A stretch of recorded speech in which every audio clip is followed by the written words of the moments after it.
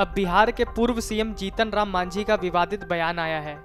उनका कहना है कि राम भगवान नहीं है, वे तो सिर्फ़ तुलसीदास व वाल्मीकि रामायण के पात्र हैं। मांझी ने अपने भाषण में कई अन्य ऐसी बातें कही, जिनसे विवाद खड़ा हो सकता है। मांझी ने यह बात गुरुवार को जमुई में अंबेडकर जयंती के मौके पर आयोजित कार्यक्रम में कही। इस कार्यक्रम में उन्होंने भगवान राम के अस्तित्व पर ही सवाल खड़े कर दिए। मांझी ने कहा कि रामायण में अच्छी बातें लिखी हैं, इसलिए हम उसे मानते हैं, पर राम को नहीं जानते। बिहार के पूर्व सीएम ने कहा कि पूजा पाठ करने से कोई बड़ा नहीं होता। अनुसूचित जाति के लोगों को पूजा पाठ करना बंद कर देना चाहिए। जो ब्राह्मण मांस खाते हैं, शराब पीते हैं, झूठ बोलते हैं, उनसे दूर रहना चाहिए। उनसे पूजा पाठ नहीं कराना चाहिए। हिंदुस्तान आवाम मोर्चे के प्रमुख ने यह भी कहा कि आज राम की तरह कोई शबरी के जूठे बेर खाकर दिखाए। हमारे घर खाना खाए। मांझी ने कहा कि स्वर्ण और उच्च जाति के लोग भारत के मूल निवासी नहीं हैं, वे बाहरी हैं। यह पहला मौका नहीं है जब मांझी ने राम स्वर्ण, हिंदू, धर्म, ब्राह्मण आदि को लेकर ऐसी बातें कही हों। पहले भी वे कई बार ऐसी बातें कर चुके हैं।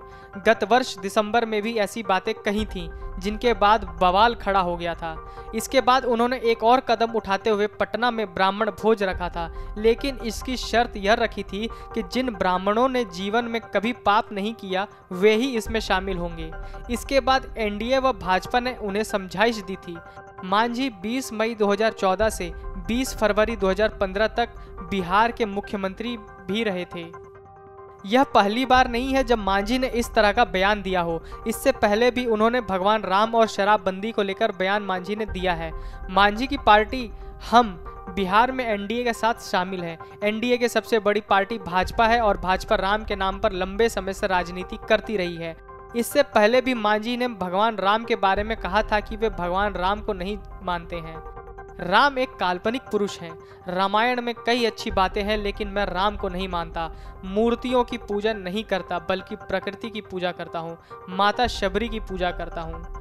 बिहार में शराबबंदी है और इसको लेकर जीतन राम जी ने भी शपथ ली थी। लेकिन अब मांझी को लग रहा है कि शराबबंदी के नाम पर सबसे ज़्यादा दलित और पिछड़ी जाति को लोगों को जेल भेजा जा रहा है।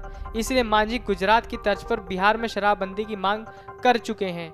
उन्होंने कहा था कि बिहार में आईएएस, आईपीएस भी शराब पीते हैं। अगर आपको भी रात को शराब पीना है तो 10 बजे के बाद पीजिए।